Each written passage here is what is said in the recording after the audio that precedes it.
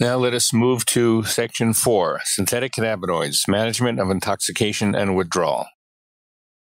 There is no specific antidote for synthetic cannabinoid intoxication. Antagonists of the CB1 receptor, which block the acute effects of cannabis, were available in the past, but were taken off the market in 2008 because of psychiatric side effects. Thus, current clinical management is solely supportive and symptomatic. Because of the possibly long duration of action, patients may require hospitalization for observation and monitoring until mental status, physiological parameters, and laboratory tests return to normal. Specific symptoms are treated as clinically indicated. For example, acetaminophen for pain or fever, a short-acting benzodiazepine such as lorazepam for anxiety or agitation, and an antipsychotic for severe or persistent psychosis. Transient suicidal ideation may occur during the acute intoxicated state, but rarely requires antidepressant treatment. Psychiatric symptoms persisting longer than one week warrant close evaluation for a comorbid psychiatric disorder. There are currently no consensus clinical practice guidelines for the treatment of synthetic cannabinoid intoxication. So the clinician must rely on his or her own clinical judgment with specialty consultation as appropriate. Abrupt cessation of chronic or excessive synthetic cannabinoid use often results in a withdrawal syndrome with features similar to, but more intense than, those associated with cessation of plant cannabis use. Typical symptoms include anxiety, depression, insomnia, increased drug craving, increased muscle tone and muscle twitching, chills and sweating, decreased appetite, and headache.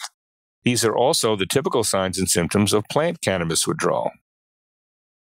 Withdrawal from plant cannabis has been treated successfully in clinical trials with synthetic THC, known generically as dronabinol, which is legally available in the U.S. as Marinol.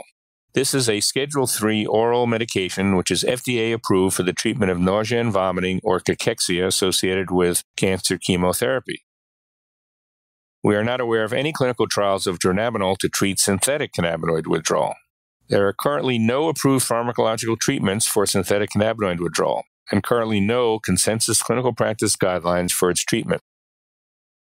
Clinical management involves observation and monitoring until the patient recovers, with supportive and symptomatic measures as indicated, such as intravenous fluids for dehydration, a short acting benzodiazepine for agitation or anxiety, and acetaminophen for pain or headache. Depression and suicidal ideation usually resolve as withdrawal wanes, unless there is a comorbid mood disorder. Antidepressant treatment should be reserved for cases with depression persisting more than several days or known independent comorbid mood disorder. Chronic or excessive synthetic cannabinoid use may result in development of a substance use disorder, analogous to that which develops with chronic use of plant cannabis. About 10% of chronic regular cannabis users develop a cannabis use disorder, but it is not known what proportion of synthetic cannabinoid users develop an analogous synthetic cannabinoid use disorder. The core concept would be continued use of the substance despite the individual knowing that they suffer adverse consequences from such use. There is no such formal diagnosis in DSM 5 or ICD 10, but a diagnosis could be made by generalizing from the criteria provided for cannabis or other substance use disorder. These diagnostic criteria fall into four broad categories. First, impaired control over synthetic cannabinoid use. Second, social impairment due to synthetic cannabinoid use. Third, risky use of synthetic cannabinoids. And finally, pharmacologic dependence on synthetic cannabinoids, as evidenced by tolerance or withdrawal.